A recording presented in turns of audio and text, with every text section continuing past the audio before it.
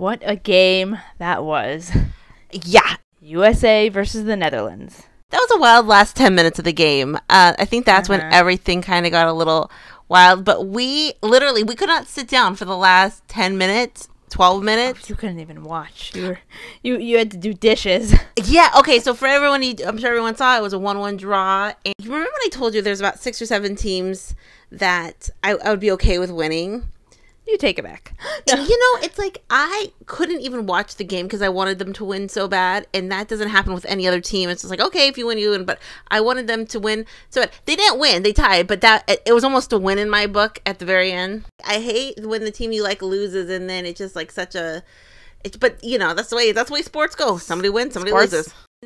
Going into the match, uh, Vlatko kept with his same starting eleven that he started with for the first game, and also it was windy out there when the game first started. I mean, there was a lot of wind. That first ball Alyssa Naeher kicked, uh, it like barely went anywhere. I go, oh, oh no, because the United States was going against the wind. They weren't going with the wind, and I think as a soccer player, you would rather go with the wind, not against the wind.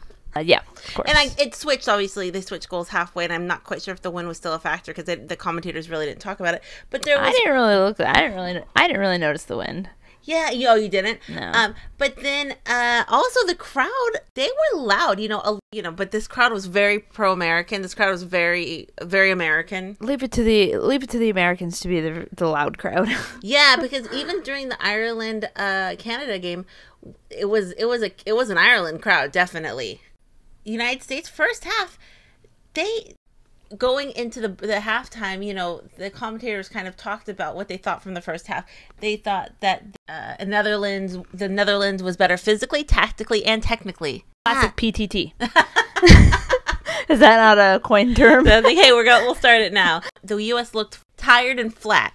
Um, so that was the first half, and that was proven true because in the 17th minute, Jill Roord scored, and it was a beautiful goal. You know, it was a goal that went through like three defenders, and the sequence leading up to it kind of looked a little bit sloppy, and Roord scored.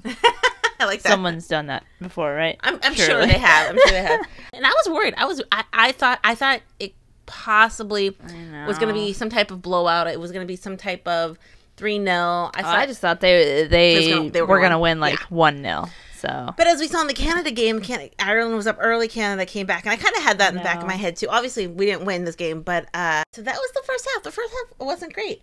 yeah, no. Then second half, I mean, we, we were talking to someone on DMs. They said Trinity looked like she was playing scared, like Trin was looking scared, and but that was the first half. Second half comes, and and who do we see? We see Rosie. She comes in for Savannah, and that's always a good sign. I mean, Rose Lavelle changes the game a lot of times, I know. I love to see her out there. and I mean, and she is the Netherlands killer because she scored the winning goal at the 2018 World Cup. I'm sure the Netherlands don't want to see her I was gonna all. say I'm sure they don't like her in the Yeah. best way possible, but you know.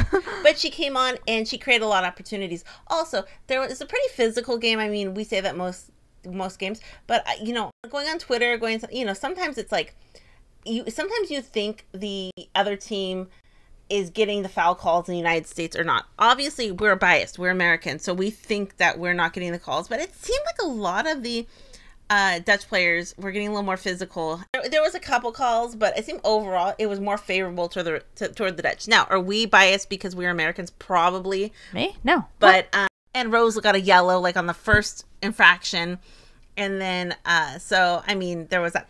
Then, I mean, this is where it happens. Uh, the sixty second minute, um, there was a there was a scrum. There was a there was a pushing match. Yeah, there was a bit of a tussle. Yeah. and Lindsey Horan wasn't happy, and she wasn't happy with DVD. And Danielle a dunk. yeah, um, um, DVD comes in hard to Lindsey. Lindsey thinks, you know, it was a foul or that she should be I called. thought it was. She Yeah. bodied her. She was kind of pissed at DVD because DVD was chirping at her. I'm sure, I mean, everyone saw it. Yeah, and Lindsey was not happy, and she made DVD know, and she gave her a little pushy push. Yeah, she definitely gave her a bit of a push. But DVD doesn't back down from a fight. Heck no. So Lindsey was really upset. Actually, I wonder if Lindsey could have gotten a yellow card for shoving DVD. Um, I wonder if that's a, a yellow card offensible. Lindsey wasn't happy, but then realistically, DVD wasn't happy after being pushed either. So they were kind of enemies at that moment. Yeah, they're both pretty fired up. Yeah. Uh, because remember, Lindsey and DVD are friends. They're good friends. They both play on Lyon and Friends in real life, enemies today on the field. Yeah, and they made up after the the game, but yeah, um, it's it's all in the name of the game. but that but Lindsey Horan was pissed. You know, she was yelling. She was saying that she's pissed, and yeah, she didn't think it was fair. yeah, and I don't think it was either. Um, next play, that led to a corner kick. I mean, Lindsey was pissed, and she she scored. She scored. Like like Carli Lloyd said in the after show, what led to what led to the goal was Lindsey was pissed. Yeah. She was angry, she was mad, and she wanted sweet revenge. Yeah. And she got it. yes and so yeah i mean it was it was we were screaming and it was like I really felt that was the shift of the game yes united states didn't score anymore but i just felt like they they had said we're not we're not losing they they tied but we're not losing after Yeah, that the game really shifted after that. Uh, you could see like the fire and everyone like it's it's like they woke up. more you know? confidence Yeah. more yeah um you know but the the kind of the wild thing was not one more sub for the united states one sub Rose Lavelle and not one other sub and i think a lot of you know Vlatko can be a little sub crazy at times But I was gonna say he's subby, yeah like but substitute teacher. No subs, and I think that surprised a lot of people. But they were in a good rhythm. Alex Morgan, Alex Morgan had an offsides non-goal, um, and there was a couple chances that Trinity had, a couple chances Sophia Smith had, couldn't connect. You know, the last the last ten minutes, as much as it was like I can't sit here and watch this because I'm getting so worried. I, I felt like the United States had more of the opportunity than the Netherlands. It seemed like at the last 10 minutes, Netherlands was like, we are not letting them score on us. It was so close a couple times. it seemed they were playing defense Yeah. a lot more and then you know the us was obviously offense they Right. were trying to uh, score Right, and that was like the last 10 minutes. Um, I mean, last 10 minutes was it was it was a nail biter, you know. It ended up in a tie, but you know, it was almost like you'll take it. You'll take the tie at that point. yeah Um, that was also the game so far in the World Cup was most evenly matched based on rankings. It was going to be a close one. Um, and at the end, DVD actually got hurt. She had a head to head with Rose Lavelle, and then I hope she's okay. But it was the wrong sport. It looked like swim cap Yeah, it looked like a swim cap. And Sarah but i think because you had blood, she had blood. yeah it looked like they were uh putting like gauze or something on her head Oh, like like yeah. i don't know it, it seemed like they were wiping away blood or something maybe i'm not sure exactly what happened But I hope she's okay. I mean, that's first and foremost. Yeah. But it was. I've never quite seen that that style of cap. Usually, it's the i like her she could take a dip in the water right after yeah, exactly. um, but that, and then at the very end, Lindsey and DVD did make up. You know, make up. You know, they kind of went over, shook each other's hands, smiled, and you know, said good game. But it ended up a tie. Yes. But right now, Netherlands and United States are still one two in their group. United States is beating Netherlands in goal differential. Uh, United States really need to bring it toward Portugal. Portugal is a uh, Portugal is a good team, and that, you know that could be hard. You want to win your group because you have an easier route to the final. Um, I mean, could they lose against Portugal? Sure, it's the World Cup. It's 2023. Anything could happen. More than likely, they won't. But I mean, there's players we have still have not seen. We haven't seen Lynn Williams. We haven't seen Emily Sonnett. We haven't seen Kristie Mewis. We haven't seen. So there are some players we still have yet to see. Hopefully, Lynn. Hopefully, Lynn Williams comes in next game because I think she could really make a difference. Um, but yes, what a game. I mean, was it a tie? Yes. Was the last 10 minutes crazy? Yes. I kept telling Sarah, I was like, this would be a good game to go to a bar at, because to go to a pub or something. Because you know, some of those games at the very end where it never really gets going for your team, just it's like, you know, it's like dead ball after dead ball. yeah i'm sure it was constant cheering at the Yeah, end exactly. But what did you, what did everyone think? I mean, you know, it was exciting. Was it everything it should be? Definitely not. But also, people say, you know, they still problems with Vlatko and the way he coaches overall, which, which only only Vlatko has control of that. You know. well and the people in his ear Oh yeah. what does everyone think? Were you like me? Literally could not watch it. I was in the kitchen like putting sugar away. Sarah's like, "What are you doing?" Um, but Sarah, we enjoyed it. What's going to come up next? We watched the Ireland. Uh, we watched the Ireland Canada game. That's we're going to talk about in a second. We just recorded that before we actually watched this game because we recorded we watched that game this morning. Questions, comments down below. What do you guys think? How here is part two of the video. So we just uh, talked about the USA Netherlands game. We are actually recording this before we have actually watched the game. So it's either going to be Sarah, yay, or it's going to be No. so we're in the past, but we'll be in the future. It's this Inception So- time. exactly. Um, so we're going to talk about the Republic of Ireland and Canada game. Uh, it was a knockout game for Ireland. If they lose, they're they're done. They're going home. They still have one more game to play, but they're done. Going into the game, Sarah, you show yesterday said you had Canada. I did, and I was right. you were right. Um, and we'll kind of get into that too. And I did pick Republic of Ireland, and I, it was quite the game. Sarah, you started out watching it pretty much live from the get go. I watched it a little bit of a delay, but I'm telling you, you know, we talked about it yesterday. Is is there going to be a tension on the field, or is there going to be uh, any factions on the team based on their performance? There was no factions, no tension. They played their hearts out. And at the beginning of the game, you saw Ruesha singing the anthem very loud and very boisterous. they would bring it, and they brought it, and Then they lost. unfortunately, it wasn't enough. Yeah, exactly. It was still a great game. But I mean, I guess we'll talk about it now. I, I, fourth minute, I, I I keep replaying this goal on TikTok or on YouTube. The Katie McCabe Olympico goal.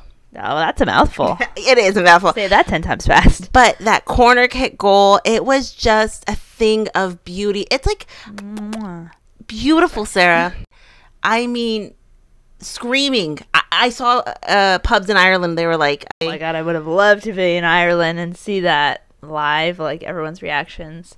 You know, beer went flying everywhere. Yeah, the fourth minute. I mean, I'm thinking, oh my god, this is looking great. I mean, this is like think, thinking there's no beating Ireland. At, at that point, I'm thinking that, Sarah. There's no beating Ireland. Right? It's, it was so beautiful. This is the very first World Cup goal ever for Ireland. Yeah, exactly. So, it meant so much. Yeah, it meant so much. And it was the captain, and it was Katie McCabe, and it was just everything about it. And yes, it the the storyline did kind of end there based on they're out of the World Cup, but I think it just almost started just began in the same regard. You know what I mean? They're, because they're gonna hopefully be there next, you know, four years and whatnot. yeah. Um, but also, I mean, I didn't even mention this. The crowd, even before that fourth uh, minute goal, the crowd was very, very, very pro Ireland. It was a very, very Irish crowd in Perth. Uh, and it was in Perth. I mean, to have a World Cup in the most isolated big city in the world, I mean, uh, to know that the people of Perth get a World Cup games there, I mean, that is very cool for Perth. Yeah, totally. You know, also, I guess we'll talk about it now. The weather, again, was pretty crappy. The weather strikes again. yeah. Ugh, like insane weather there Yeah. for a little bit. Yeah, it like was. just before halftime. Yes. it was like the just wind, the, rain. of events, like because that's when Canada got their first goal. But it was like the weather was just, whoa, it was insanity. Um, there was a um, Jordyn Huitema was walking like through to the goal or something. You could barely see her, you know, because the rain was so heavy at that moment. Yeah, Um, and I guess that's another thing we didn't really talk about. Christine Sinclair, she did not start, and a lot of people were surprised, and a lot of people said, "Well, it's the first time ever she's not started a World Cup game." And um, it worked out in their favor, but I think a lot of people were surprised by that. And this is where I think the momentum just shifted to Canada um, overall. But in the 45th plus five minutes, it was an own goal. Um, yeah. just bad. T- I mean, the f- you know she kicked it in. I- think it got the back of her foot. Yeah, it looked like I something think like so, that.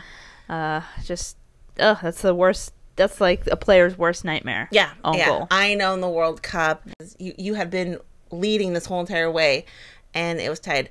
Um, second half again, come back. You're tied up. Pretty soon into the second half, in the fifty third minute, uh, Canada scores, Again. and they came back t- down to one 0 They came back, and at that point, I'm thinking Ireland has a chance. Ireland, it's still 30 minutes away before the game's going to be over. Mm-hmm. You know, one to tie, two to go ahead. well, we've seen things happen within mm-hmm. minutes. It only mm-hmm. takes a few minutes, so anything can Yes. happen. Literally anything in 30 minutes. Exactly. Katie McCabe played played her heart out out there. She was everywhere. She was, and also Ruesha. I mean, we talk about the issue. Yes, you know, we talk about their interpersonal issues right now, but Ruesha had a great game as well. You know what I mean? She had a great game. The heart of the Irish team out there, you know, chasing down every ball. Uh, maybe not the most clinical team, but chasing down every ball, you know, no laziness. Sometimes we Yeah. see players out there, they're kind of half running, half looking.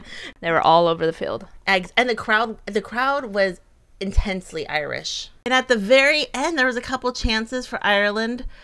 Um, some sa- good saves by the goalie. Canada played well too. That's the thing. Canada played really well. But when you think about it, Canada's had a tough couple years, but Canada's the Olympic champion. Ca- Canada's supposed to go in there and win. You know what I Yeah. mean?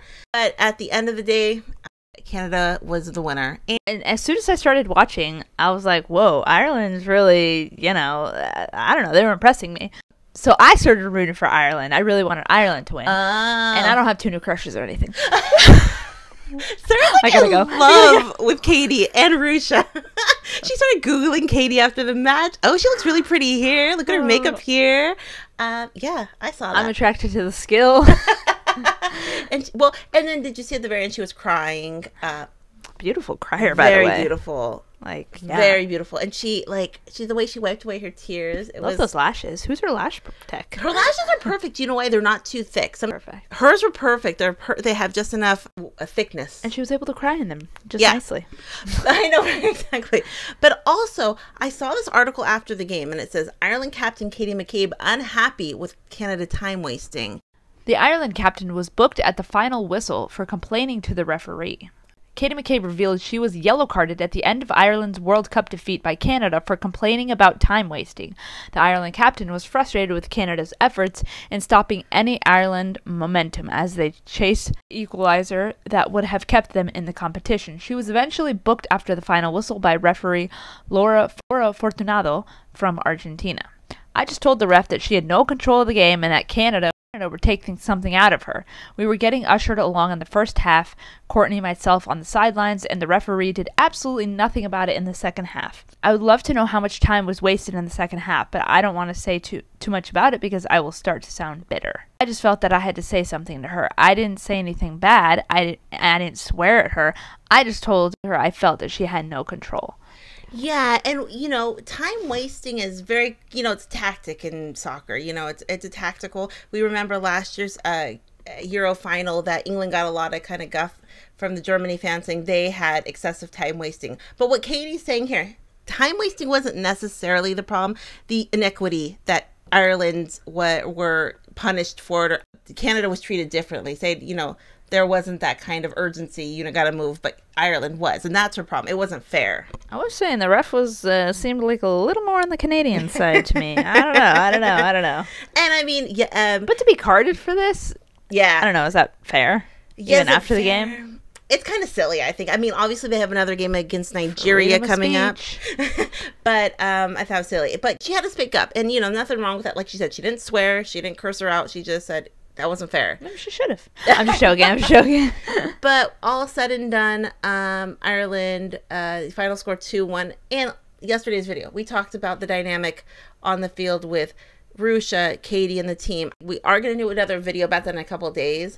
Um, but most of the people said in our comment section whether or not Ruesha felt that way to bring it to the field was not fair and know not the right place to air any grievances at that point. And that is a grievance. You know, you're in the biggest stage of the world and to do something like that. And then but some people just said, "Hey, not a big deal. People don't shake hands sometimes. Don't make it something that's not also." So I I and I I'm one of those people who I do see both sides, but most people said to kind of make it uh, thing, and it you know can impact the team. I don't think it did though. I think they played so well. I think Canada's just a superior team. You know, you know, experience. They have they have Christine Sinclair. You know what I mean? yeah. There was a there was a moment where the camera panned to uh, to Katie and Ruesha, Yeah. and they were fine. I don't They know talked. the they, they had a they had a tactic talk. I saw. What did you guys think? I mean, obviously, I don't know what happened the United States game yet. I'm hoping, yeah, we won three one. Yeah, I hope we do. but Fingers crossed. this game was wild. We it's very, I mean, such an entertaining match. Wouldn't you say, sir? Such an entertaining match. Wild. What did everyone think? Questions, comments down below. I don't know if Sarah's going to keep this in the video or not, but I do have to say, just Ireland is going through it. It's a really tough day for Ireland, even more so. They lost the World Cup match, mm-hmm. and they lost Sinead O'Connor. Yeah.